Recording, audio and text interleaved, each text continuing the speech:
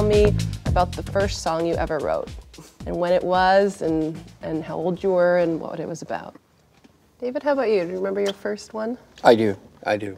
I, my dad was a cinematographer, made films.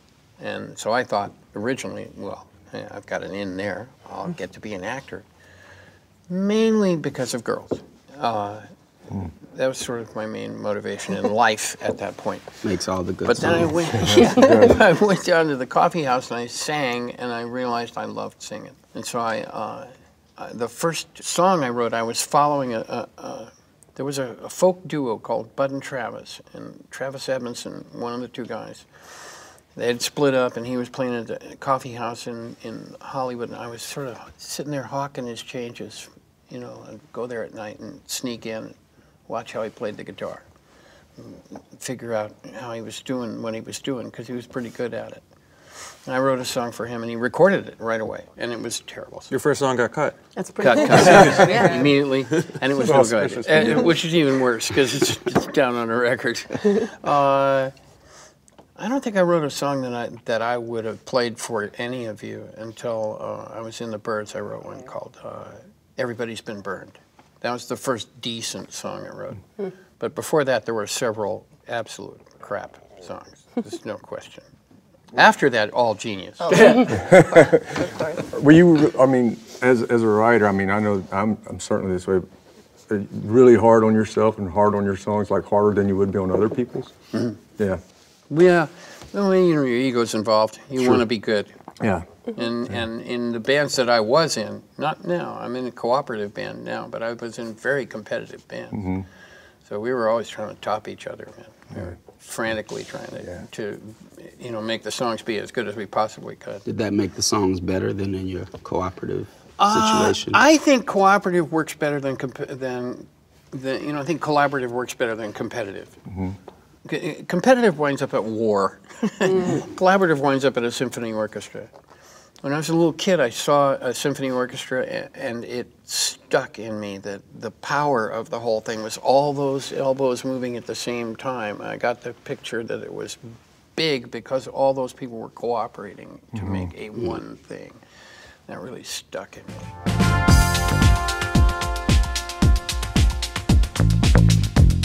David, tell me about getting involved with Little Pink House, uh, how you first got involved and how the song sort of came to you. It's a very odd circumstance. I I actually wrote the song before uh, they made the movie, and here's how it happened. Uh, there's a woman in I think it's Connecticut. She had a house. It was her house. It was her biggest deal in her life. She was a nurse, very plain, ordinary little woman. She loved this house dearly. She painted it pink.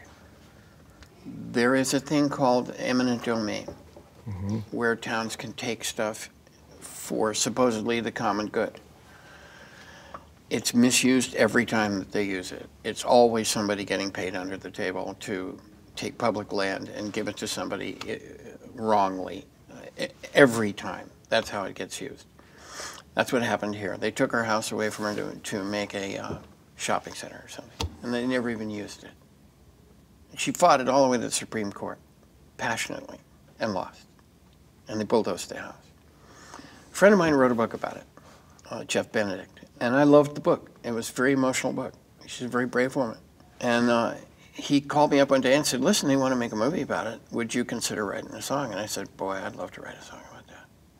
So I went to my son, James Raymond, who is one of my main writing partners, uh, brilliant musician, and we sat down and we wrote that song, and. Uh, it works. I wish they'd used it inside the film instead of over the credits at the end. I, I, I think it would have been even stronger. But for me, it was a great experience. This this really felt like creating something, you know, correctly. I, I went. I felt good about the whole thing, the entire process. I loved it.